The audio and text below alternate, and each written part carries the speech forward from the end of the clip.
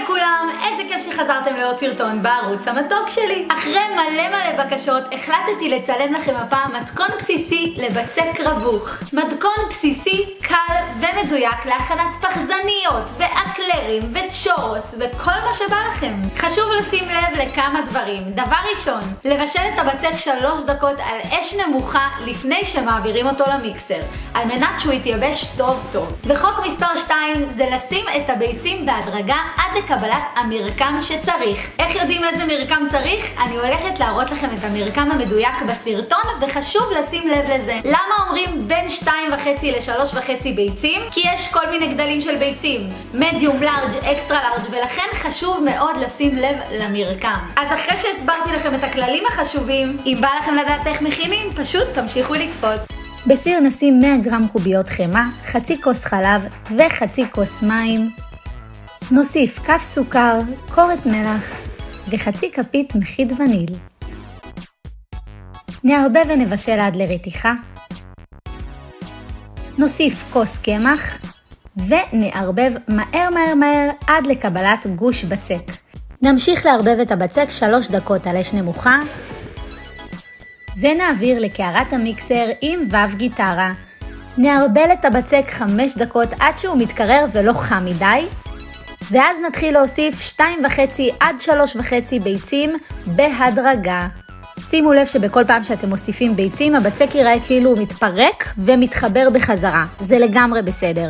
הבצק צריך לצאת במרקם הזה, סמיך וקרמי, שלוקחים אותו בין שתי אצבעות ומותחים, הוא לא נקרע ונהיה לנו שפיץ. זה אומר שהוא מוכן. שיטה סופר מגניבה לצייר עיגולים על נייר האפייה, אני טובלת רינג או כוס באבקת קקאו ודופקת על נייר האפייה. שימו לב שנהיה לנו ממש סימן של עיגול, ואז אפשר לזלף עליו. אני מעבירה את התערובת לשקית זילוף עם צנטר חלק, אפשר גם משונן, מה שאתם מעדיפים, ועוברת על הקווים של הקקאו. אני אוהבת להוסיף מעל שקדים, זה לא חובה, מה שבא לכם, ואני מכניסה לתנור שחומה מראש ל-200 מעלות 5 דקות, ולאחר מכן מורידים ל-175 מעלות עוד רבע שעה. התנור על טורבו ולא פותחים אותו עד סיום האפייה, זה ממש חשוב. וככה זה נראה, וואוי! כמובן שרציתי להראות לכם שאתם יכולים לזלף בכל מיני צורות שונות, אני עשיתי אקלרים, אתם יכולים פחזניות, מה שבא לכם. אני מכינה קצפת רגילה מ-250 מיל שמנת מתוקה, שתי כפות פודינג וניל, מקציפה עד לקבלת קצף יציב, הכי קל בעולם והכי טעים עם פחזניות. חותכת את הפארי ברסט המהמם הזה לחצי, מעבירה את הקצפת לשקית זילוף, אני השתמשתי בצנטר כוכב משונן, ומזלפת, מוסיפה תותים, וכך הלאה, ותראו כמה שזה מושלם, וזה הכי הכי טעים בעולם.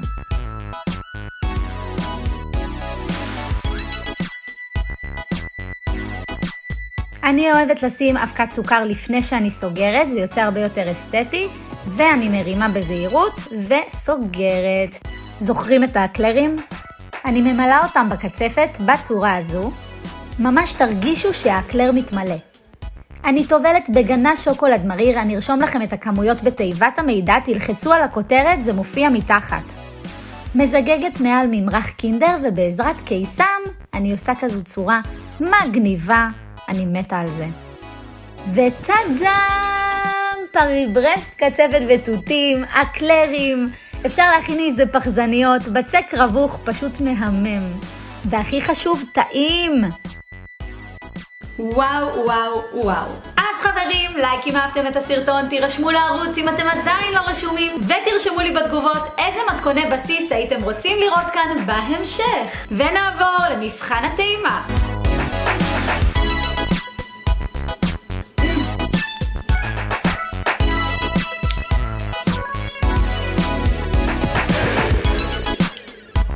Yummy.